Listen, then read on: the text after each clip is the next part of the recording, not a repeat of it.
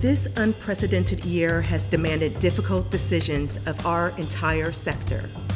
It is a year that has challenged us, exhausted us, and changed us.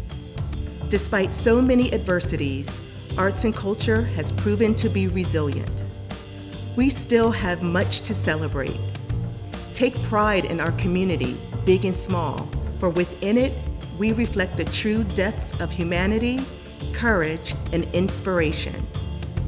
No matter what comes our way, we must dare ourselves to forge ahead. Hey, what's up, friends? Today we're going to be creating a song. Continue to create, even when we feel defeated. Continue to innovate, even when we feel our hands are tied. Continue to revolutionize, even when we feel our backs against the wall. Continue to rebuild the community we love, even when we feel challenged by it. Continue to celebrate our wins, even when we suffer losses.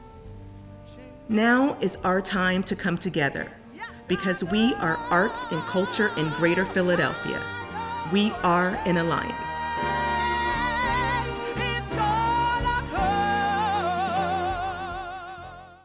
Thank you for watching.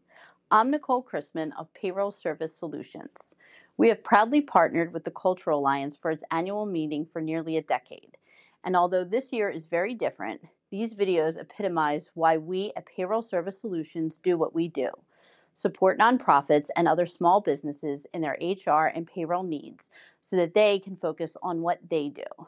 The videos highlight how the arts rose to the occasion during the pandemic and showed up during the racial unrest over the past few months. In a time of uncertainty and changing needs and requirements, you stepped up to these challenges with grace and grit. This is just one of the many reasons why Payroll Service Solutions continues to stand with the Cultural Alliance and the arts and culture sector. As always, we are here for you. Thank you.